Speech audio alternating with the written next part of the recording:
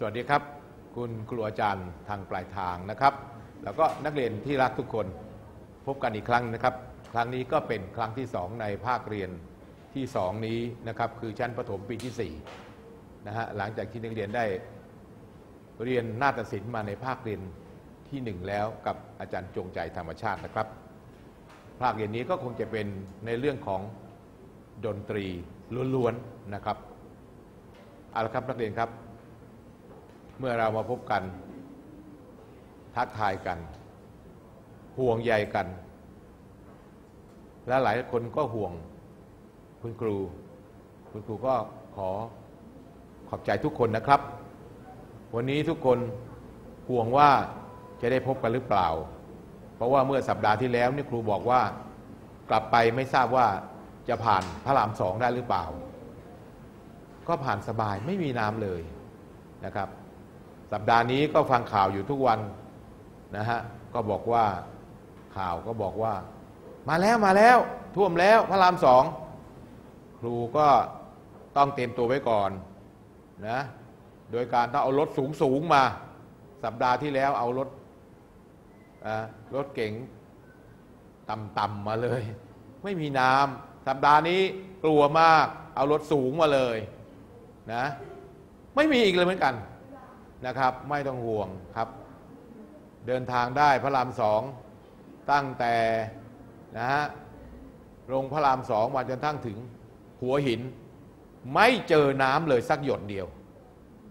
นี่คือเดินทางจริงๆนะเดินทางจริง ๆ มีคนบางคนพูดเป็นแนวตลกด้วย เจอกันที่ตลาดก็เลยพูดเรื่องตลก บอกว่า อย่าว่าแต่น้ำถนนเลยอาจารย์พูดอย่างนี้ น้ำในก๊อกยังไม่มีจะให้เห็นเลย เพราะฉะนั้นดีใจด้วยครับที่สบายแล้วนะครับ เดินทางได้นะฮะทางพระรามสองนี้ จนกระทั่งนู่นแล้วครับมาวังมะนาวมาเพชรบุรีมาหัวหินไม่มีน้ำเลย กลับมาถึงหัวหินมีฝนตกอีกตั้งหาก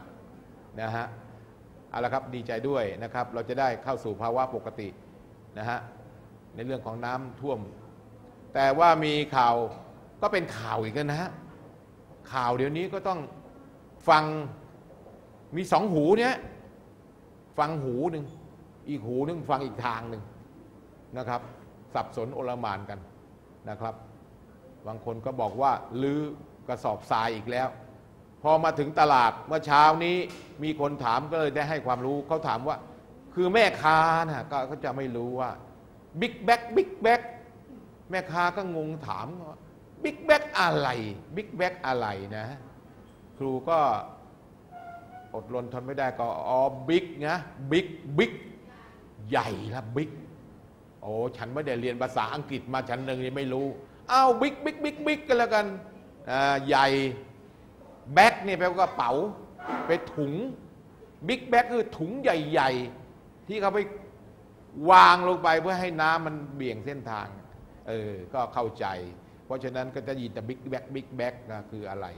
นะเป็นความรู้นักเรียนจะได้ทราบนะนี่ได้ยินข่าวจะได้รู้ว่าอ๋อ big bag ก็คือถุงใหญ่ๆนั่นเองถุงใหญ่เอาละครับ วันนี้คุยกันก็พูดถึงเรื่องน้ำท่วมบ้างนะสารทุกข์สุขดิบ ครับส่งกำลังใจให้กับทุกโรงเรียนนะครับ ที่จะเจอกันก็โรงเรียนที่น้ำไม่ท่วม โรงเรียนที่น้ำท่วมเขาปิดยังไม่เปิดกันเลยนะครับ เราส่งกำลังใจครับ นักเรียนที่น้ำไม่ท่วมนะฮะส่งกำลังใจไป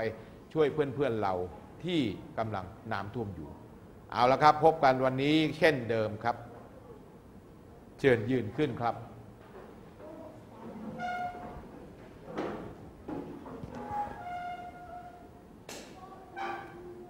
มาโรงเรียนแล้วสิ่งแรกที่เราได้ปฏิบัติ เดินมาพบคุณครูก็ดี พบเพื่อนๆก็ดีแหมสังคมจะดีขึ้นครับท่านนักเรียนว่าได้สวยนะครับ ง่ายมากนะกลางหน้าอกเห็นไหมเสร็จแล้วเห็นไหมครับ กลางหน้าอก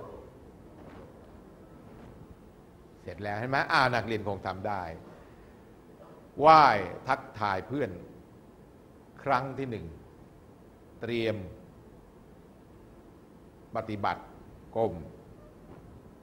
เอามือลงนะฮะดีมากครับไหว้ทักทายเพื่อนครั้งที่สองเตรียม ปฏิบัติ อีกสักครั้งหนึ่งครับนะฮะไม่ทันเห็นไหว้ทักทายเพื่อนครั้งที่สามเตรียม เตรียมคือยืนตรงนะฮะ เตรียมคือยืนตรง ปฏิบัติ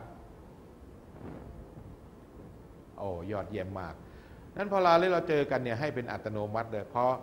พอเจอเพื่อนนะเนี่ยเป็นอัตโนมัติเลยนะครับเอาตอนนี้หันหน้าไปทางเพื่อนของเราครับ ทักทายเพื่อนของเราอ้าวหันหน้าเอาแหละครับ หันหน้าเข้าหากันนะอ่าดีแล้วฝ่ายโน้นหันมาหันฝ่ายนี้หันไปใช้ได้ครับ จำเพลงได้ไหมครับ มารยาทดี ถ้าร้องเพลงนี้ได้ทำทำท่าทางได้เนี่ยมารยาทดีจริง ๆเลย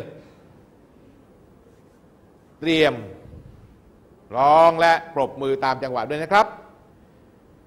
เมื่อเจอกันเราทักกัน สวัสดี สวัสดีครับ สวัสดีค่ะ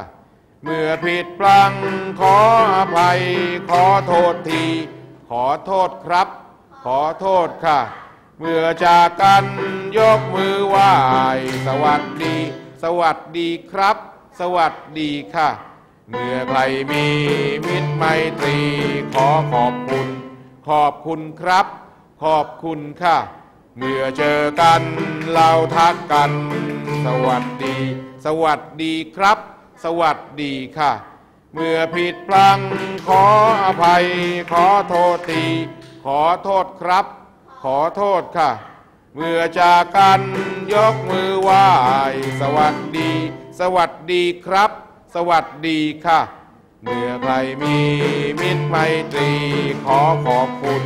ขอบคุณครับ ขอบคุณค่ะ เอายอดเยี่ยมมาอาปรบมือให้ตัวเอง